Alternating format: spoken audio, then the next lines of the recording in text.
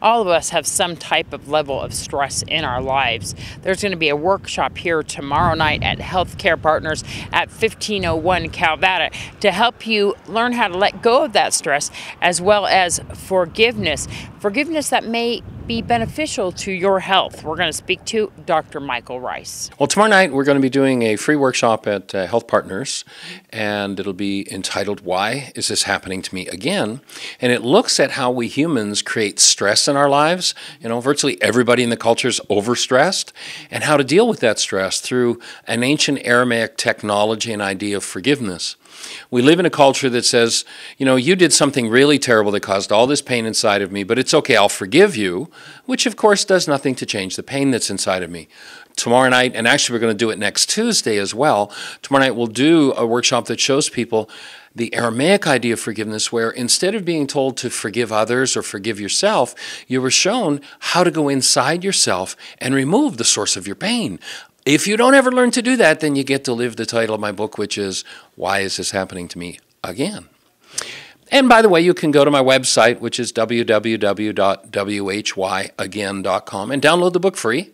Uh, our seminar tomorrow night and next Tuesday, 7 to 9.30 at Health Partners uh, will be free, uh, and, and actually will be in Las Vegas uh, the week of the 10th at a place called Unity in the Valley. And uh, we'll be doing a free week-long series of workshops there. You're not from here, but you're here just for a month visiting. This is a holistic method?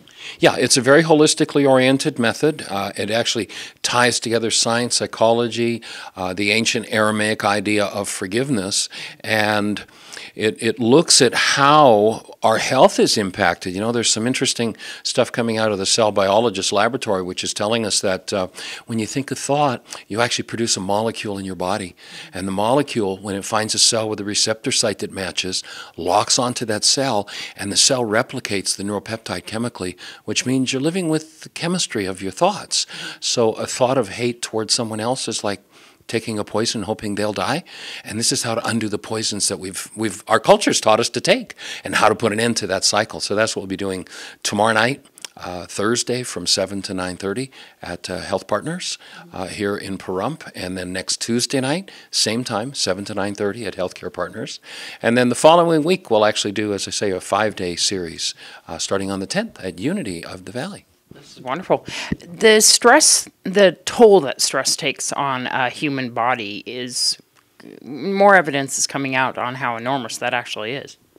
Yeah, probably about 110% of disease yeah, yeah, and when we learn to deal with our lives, you remove the the stresses that never belong. Once again, these workshops are tomorrow night and Tuesday night. They are free to the public. For more information on Michael or Jeannie Ryce you can go to their website whyagain.com. Their last name is spelled R Y C E. You can order their book as well as other information on them and their daily radio program. This is Deanna O'Donnell at Healthcare Partners for News 46.